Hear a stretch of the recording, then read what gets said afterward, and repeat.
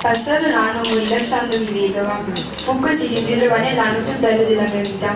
Infatti in quel, quel periodo conobbi Francesco Guerra, un ex soldato borbonico. Mi innamorai subito di lui e dei suoi modi di fare, diventando suo compagno tra il far parte di una banda di briganti, diventandone la capobanda. Iniziò così la mia vera vita da brigandessa, trascorsa tra assalti, ruberie e sequestri. Tra quello che mi rimase più impresso fu l'assalto al paese di Galluccio. Alcuni di noi, in veste di carabinieri, siamo riusciti ad attaccare il paese con un vero e proprio stratagemma e devo aggiungere che molte delle proposte furono proprio le mie. Dopo questo assalto, però, arrivò una brutta notizia che ci demoralizzò tutti. Il generale Pallavicini fu mandato per interrompere le nostre azioni, usando ogni mezzo a sua disposizione, minacciando anche le misure più crudeli gli abitanti della zona, a consegnarci a loro in caso ci avessero visti. Una sera, durante un forte temporale, ero nascosta con Francesco vicino ad un albero, quando sentimmo dei rumori sospetti. Quei maledetti soldati non ci nemmeno il tempo di scappare, subito spararono colpi sulla testa. Fu esposta nuda in piazza nel paese di Mignano. Il sindaco mi definì una sovversiva. Ma io per voi chi sono? Una ribelle o una donna coraggiosa in cerca di coraggio?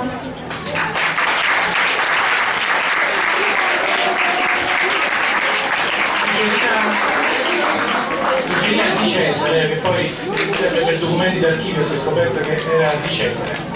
Era una capo brigandessa e se andate a Caspoli al Museo Historicus eh, c'è un museo di guerra dove ci sono eh, tutte le, le, le armi, le bombe e le cose trovate dalla seconda guerra mondiale, ma c'è anche un museo del brigantaggio dove potete tranquillamente vedere alcune, alcune manufatti che venivano usate per l'epoca. Sta qui a Caspoli, sta a Milano Montelupo, sta a 15 km da qui.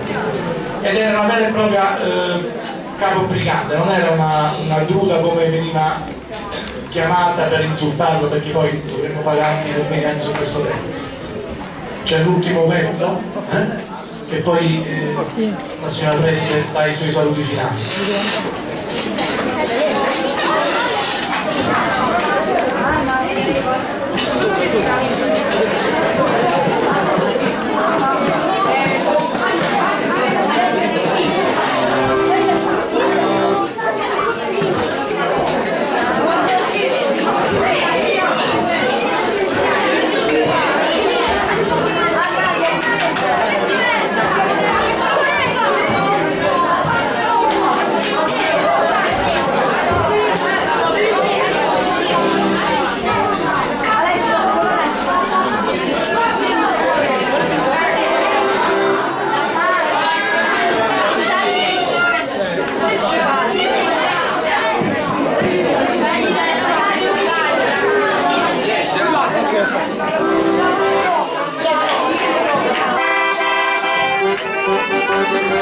oh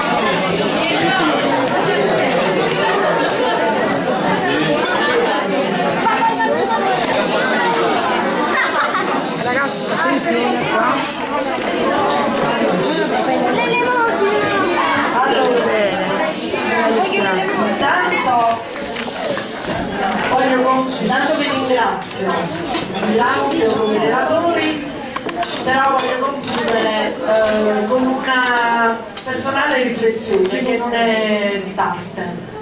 Um, diciamo che eh, voglio concludere con queste parole.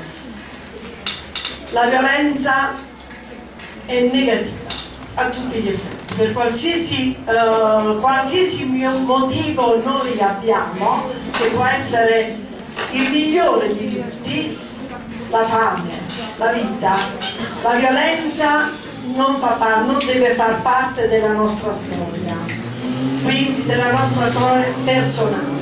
Poi che ci siano stati degli eventi storici e purtroppo ai noi ce ne saranno ancora perché questi eventi ehm, continueranno ad esistere, noi dobbiamo comunque prodigarci affinché non ci siano più ehm, briganti intesi come persone che uh, usano la violenza in un certo qual modo, anche solo furto, però sempre violenza, uh, per degli obiettivi precisi, per degli obiettivi seri, uh, sia briganti che usano, utilizzano la violenza per obiettivi meno seri, bene? come delinquenza. Quindi eh, voglio, voglio che, siccome la platea è di ragazzini delle medie, voglio sgomberare eh, qualsiasi idea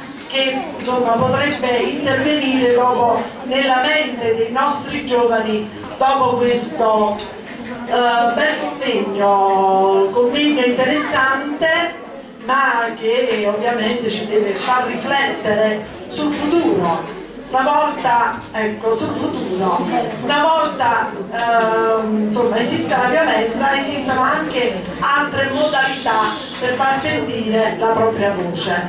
Quindi scopriamo intanto questo campo. Poi voglio ringraziare quindi tutti i relatori innanzitutto, ma in particolar modo i ragazzini che sono stati magnifici, hanno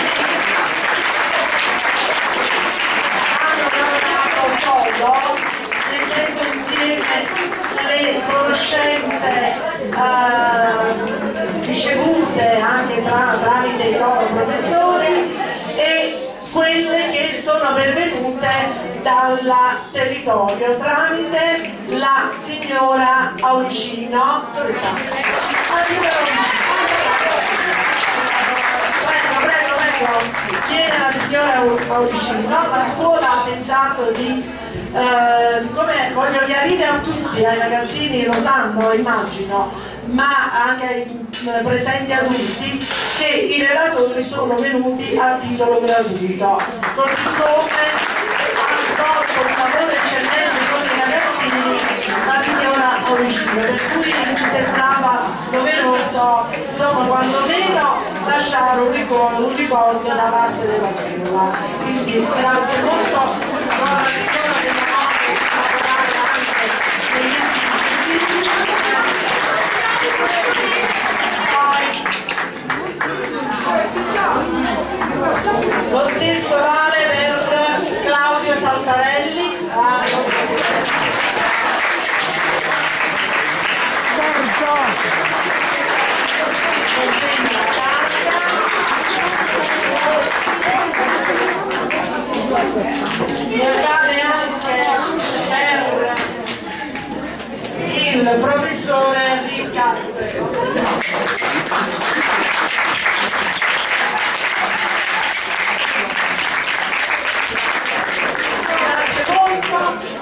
Voglio un ultimo saluto ai professori, non smetterò mai di ringraziarvi per la loro dedizione e la loro, atteggiamento al lavoro.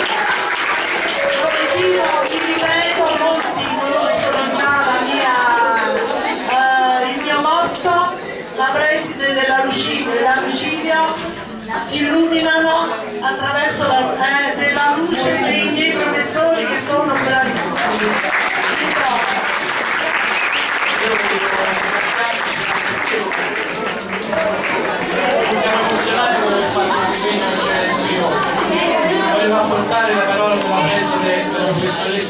Carmela Mista, giusto?